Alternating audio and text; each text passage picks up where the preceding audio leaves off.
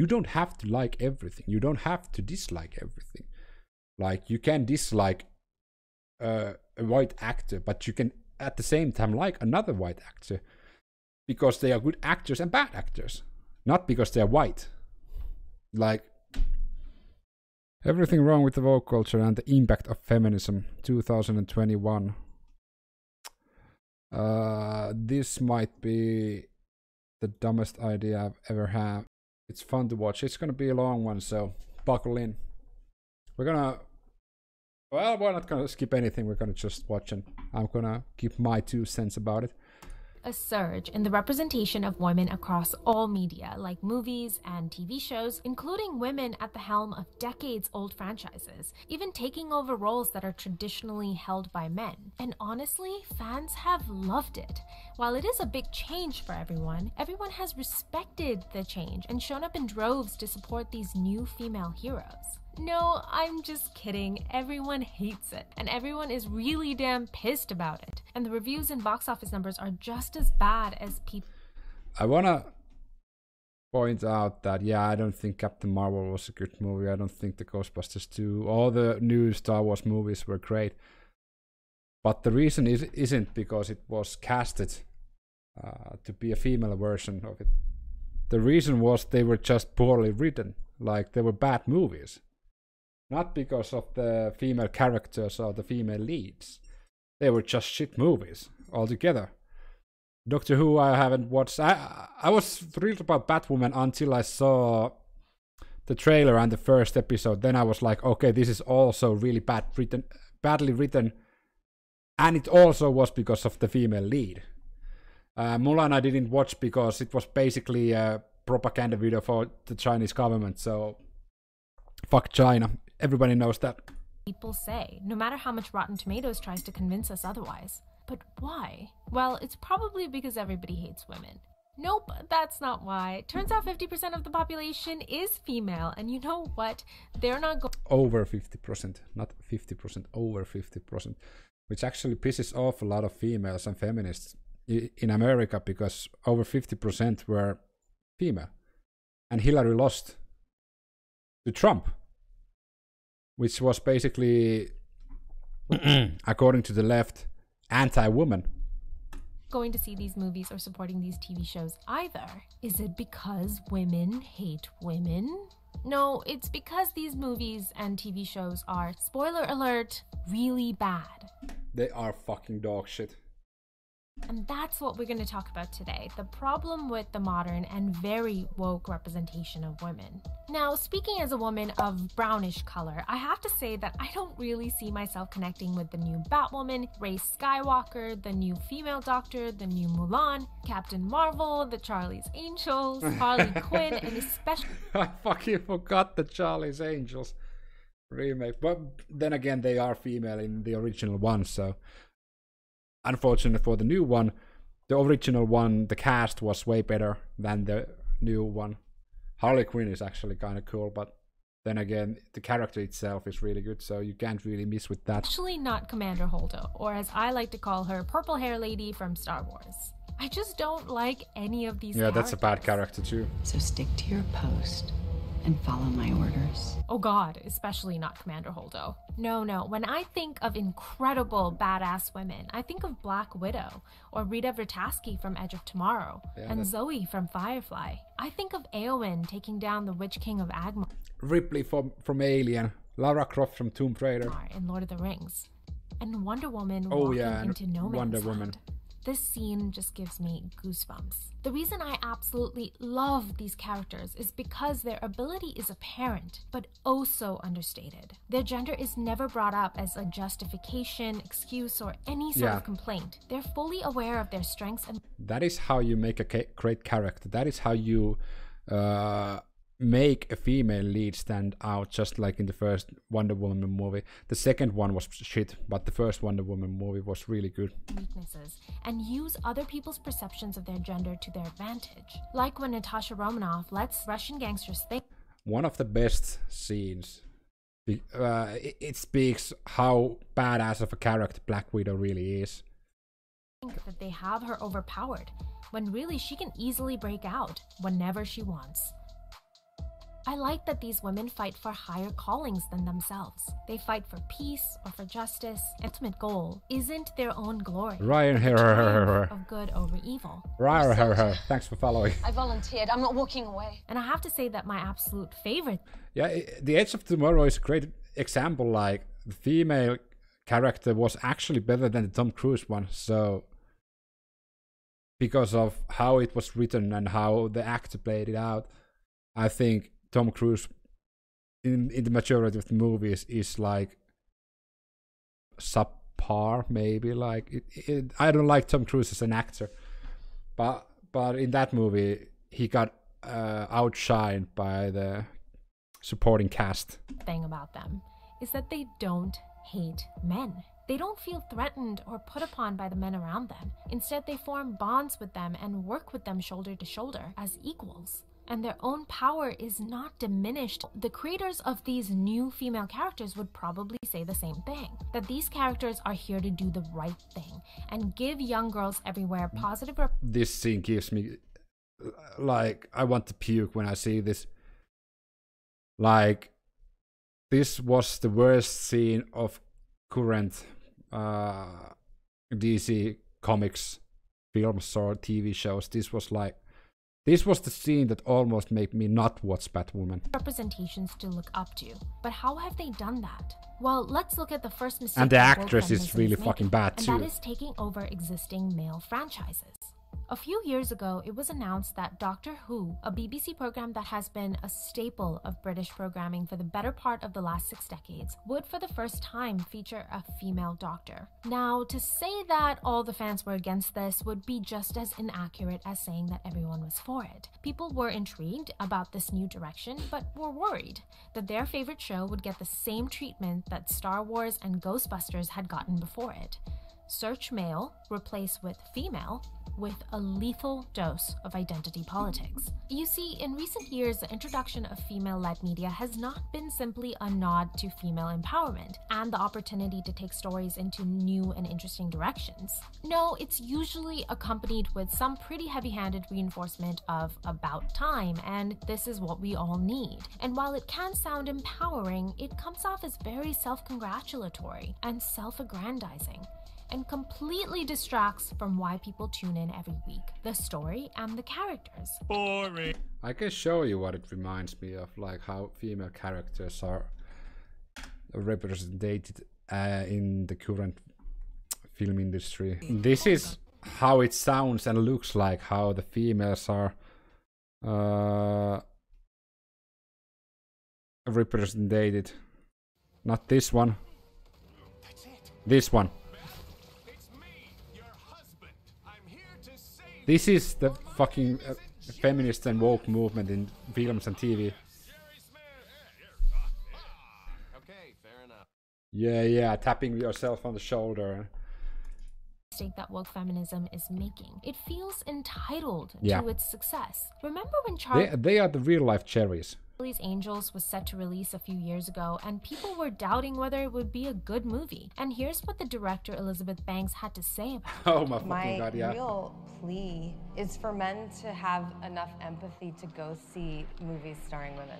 Because I've been asked to go see movies starring men my entire life. No, you're and not. happily have done so. That that's a fucking dumb argument. Like you haven't been asked to go watch men movies. You have gone and watched men movies. So to ask people to go and watch female movies is like telling them that this is what you should like, which is so fucking stupid. I hope everybody would st- just stop it. Stop it. I, I wrote a thing on Twitter yesterday about the same exact sim thing in the streaming world. Like there are uh, influencers and like lifestyle coaches and streaming coaches saying that you you should go and see watch only people of color uh, and minority streams because they need your support. I think that's actually like condescending towards them because that implements that you would be you think you're like better than them and saying that don't worry i'm here to save you. I'm gonna tell everybody they should go and watch you. That's a fucking toxic and like dirty way of thinking things. I don't know why men don't return the favor. Now, female creators or male creators of female empowering shows might feel they're justified in their sense of entitlement of success, support, and loyalty from fan bases. But that doesn't mean that people are going to give it to them. In fact, entitlement is often universally met with scorn and mockery. But of course, they don't think that they're being entitled. They think that they're asking for what they're due. Oh, wait, that is the definition of entitlement. But the energy they're spending on demanding success is the energy no, they're no, no, not no, no, no, spending no. where they need to. And this is the next mistake that woke feminism is making. The characters, these examples for young girls everywhere, well, they're not that great. I need you to fix his suit. Oh my fucking god. The suit is literal perfection. It will be No. when it fits a woman. Oh my. Imagine the hubris of taking the work of someone else. Bruce Wayne in this situation, someone who battle tested and designed something for themselves. Imagine strolling in and demanding that the suit be fixed to fit you, and that it is only perfect once it fits a woman who did nothing to earn it except be a woman. I'm sorry, am I supposed to connect with this behavior? Yeah, especially when you know know that this female broke into the Batcave. She wasn't even given the title. She just broke in and took it. She took everything a man built and declared it her own. Like, what the fuck? Look at that fucking green too. Like, strong woman. Supposed to connect with this behavior? Am I supposed to look at this and applaud this as a win and apply it into my own life? Am I supposed to barge into someone's office while they're out to lunch and demand that they swap out the name on the door? How about this scene from Doctor Who, where an MI6 official assumes the doctor is a man? A fair assumption since the doctor has been a man for many decades. Does the female doctor handle it with grace, with Nope. maturity, Fuck and no. earn the respect of her audience as well as everyone around her? I've had an upgrade. Hi. Really? Really? Did you really need to put down every man that has come before you? Why do they need to kneel down for you to stand up? And that's the problem with these characters. There is such a bitterness in them. They're not working for something bigger than them. They're driven by vengeance and anger. I'm not about to let a man take credit for a woman's work. Okay, but but you just took credit for Batman's work. That, so that's okay. This antagonistic behavior assumes that we just hand over success to men simply for being men. By that I'm sorry, this is going to be a fucking hot take, but you can just see in a person's like attitude, uh, uh, his appearance and facial expressions when she when she's a total pa- bitch. Like, I'm sorry, but you can see that. Like, you can bring up those arguments, you can bring up those issues,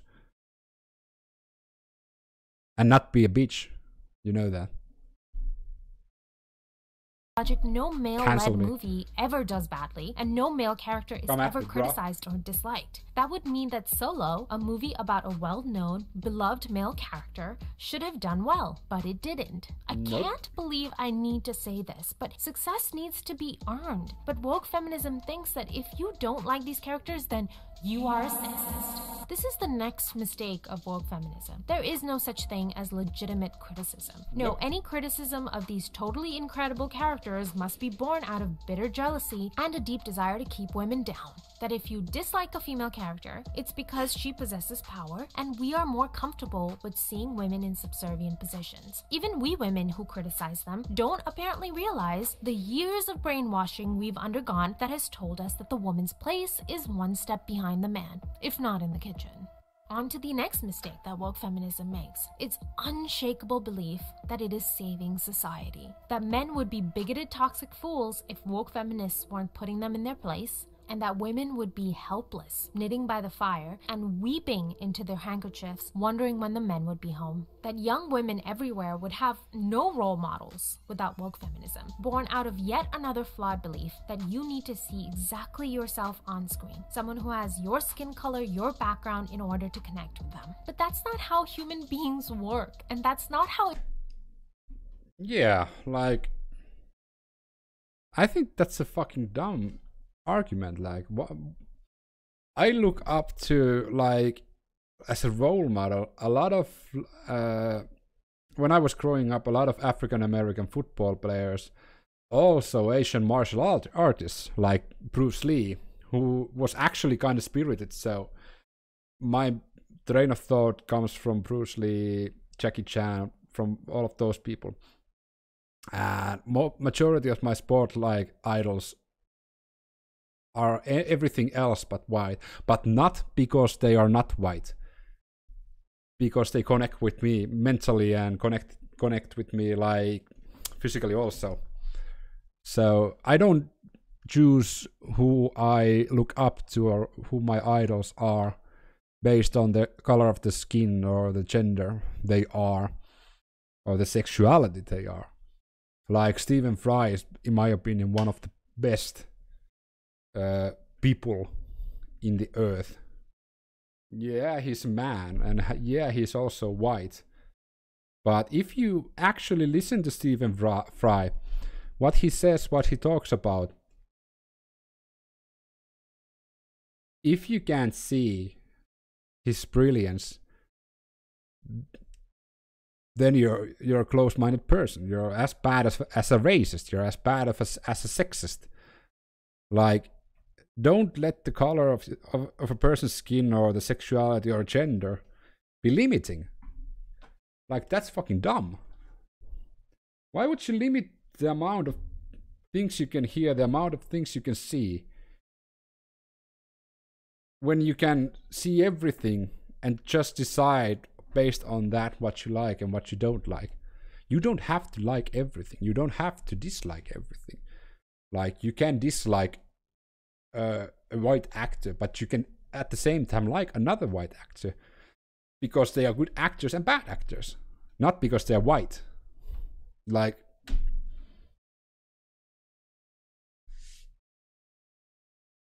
just fucking enjoy the things you enjoy and dislike the things you dislike.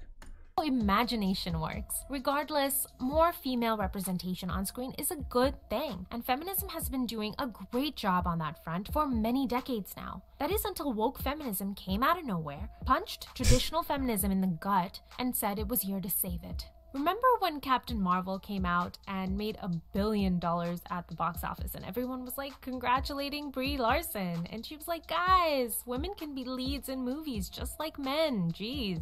I think what drives me crazy about this is that there is absolutely no acknowledgement of the past. Oh, yeah. As if Sarah, Sarah Connor, Connor. did not terminate the Terminator and Ripley did not destroy the There we go. Ripley. As if these women didn't decades ago dominate the box office as badass action heroes. Strong female characters have been Yeah, Sarah Connor from the 80s.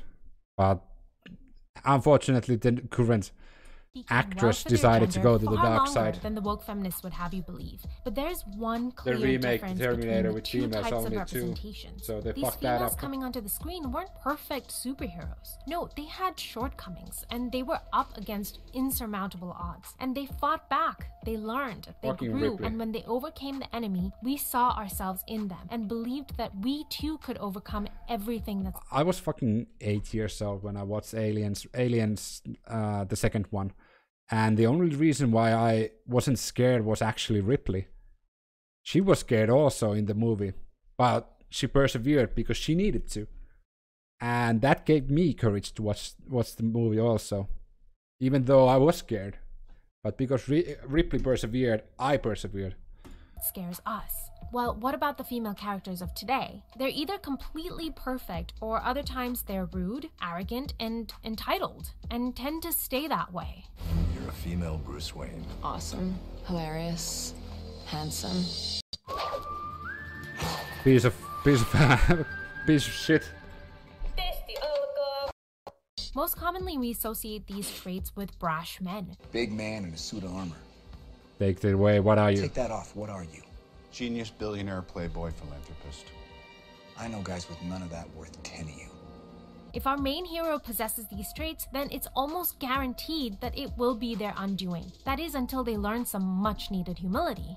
The That's reason the. Marvel franchise was so incredibly successful was because at the heart of it was the transformation of two men. Captain America started off as an idealistic, selfless servant to his country, but eventually learned the tiny amount of selfishness needed for him to actually live his life and be happy. Tony Stark went from a hedonistic, self serving playboy constantly impressed by his own genius to a man who found meaning and paid the ultimate price to preserve. Yeah, Tony Stark's arc was basically in the beginning he was jerking off to uh, the his own reflection from the mirror, and at the end of the arc he was masturbating on the reflection of everybody else. That's basically Tony Stark, but he's still like masturbating for an image of himself.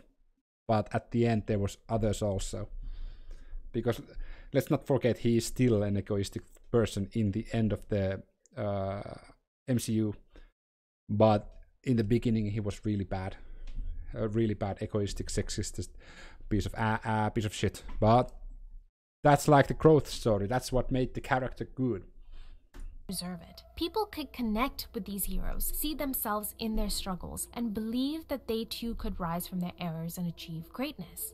I don't actually like Captain America as a character. female woke hero doesn't get this traditional that a hot take? journey. Mulan is no longer a I scared think girl Bruce- taking Bruce up Banner arms and for the Hulk is better. time in order to protect her elderly father, earning her place in the army and earning the respect of everyone You should you should read a co- comic called The Death of Hulk to see how fucking deep the character really is. around her. No, in the new version, Mulan has always had chi flowing through her, and she Oh, was always course. meant to be the greatest warrior of all time. What's holding her back is society's expectation that a woman should not fight. Captain Marvel is the most powerful Avenger, So There's no competition for me because I'm the strongest, so it's just kind of like a and what's holding her back? I guess her desire for her mentor's approval? I guess? And she overcomes that easily. Prove to me you can beat me without Now, Rey, Rey is, well, perfect. Without a day of training, she can mind control guards and pick up a lightsaber and kick Kylo Ren's butt. She's amazing. She can save the day. What a queen. What a bunch of queens. Slaying all day, doing epic backflips and shit. Like, who cares? Look, I want a woman to save the day. I like that just as much as I like the man saving the day. But is it too much to ask that it be earned? That the powers and abilities aren't just handed to these characters, but that they work at them? They hone their skills, suffer defeats that they learn from, and meditate on losses, and come back stronger than ever. And can these women suffer consequences when they behave in terrible ways? Like in The Last Jedi, when Commander Holdo does not share with her team what the plan is for saving the last vestiges of the rebellion. Instead, when a male subordinate asks her what the plan is, she immediately insults him. before we can find a new base. So, what's our plan?